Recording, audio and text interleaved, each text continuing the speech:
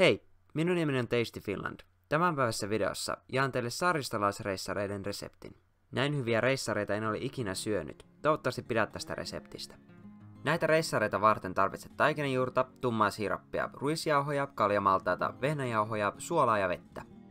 Aloita taikinan teko sekoittamalla keskenään vesi ja taikinajuuri isossa kulhossa. Tämän jälkeen lisää kaljamaltaat sekä siirappi. Enää sinun tarvitsee lisätä vehnäjauho, ruisjauho sekä suola. Tämän jälkeen sekoita taikina tasaiseksi ja anna sen kohota vähintään kaksi tuntia huoneen lämmössä. Tein taikinan edellisenä iltana ja annoin kohota sen jääkaapissa yön yli. Näin siitä tuli hyvin maukas. Reissaritaikina kannattaakin valmistaa oman aikataulun mukaisesti, mutta koskaan ei saa kiirehtiä. Kun taikina on silmämääräisesti kohonnut, ota kaksi lusikkaa ja jauhoja ja muotoile taikinasta sentin paksuisia kiekkoja. Anna reissareiden kohota vielä liinalla peitettynä lämpimässä paikassa vähintään 2-4 tuntia, tai kunnes ne näyttävät selvästi kohonneilta.